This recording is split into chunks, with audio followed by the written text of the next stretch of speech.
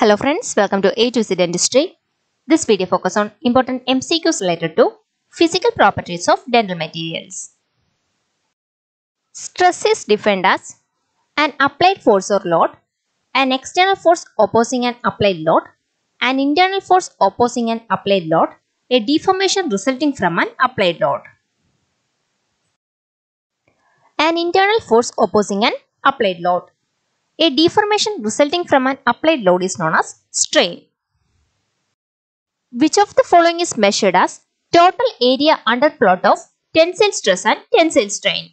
Brittleness, proportional limit, toughness, Young's modulus.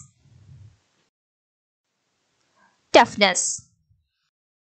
Total energy stored in the body at the point of fracture is known as resilience, toughness, fracture strength, ultimate strength. Toughness. What is the value of Poisson's ratio for ideal isotropic material? 0.3, 0.4, 0.5, 0.6. 0.5.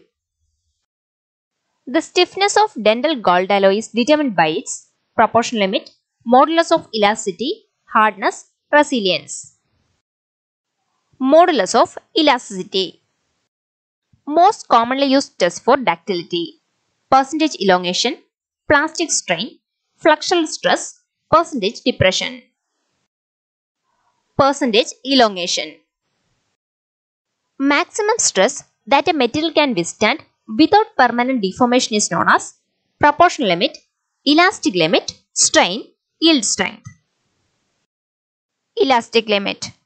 Elastic limit is the maximum stress that a metal can withstand without permanent deformation. Brinell hardness number of gold alloys directly proportional to modulus of elasticity, hardness, resilience, tensile strength. Tensile strength. Brinell hardness number of gold alloys directly proportional to tensile strength.